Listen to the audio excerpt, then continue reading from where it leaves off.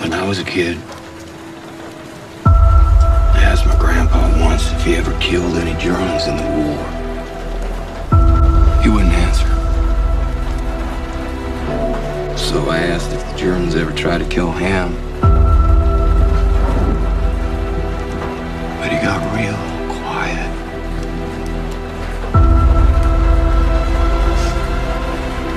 He said he was dead the minute he stepped into enemy territory. Day woke up. Told himself, rest in peace. Now get up and go to war.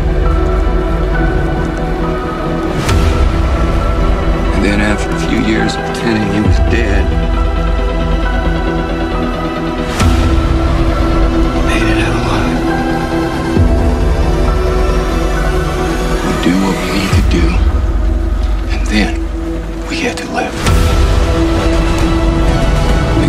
This is how we survive.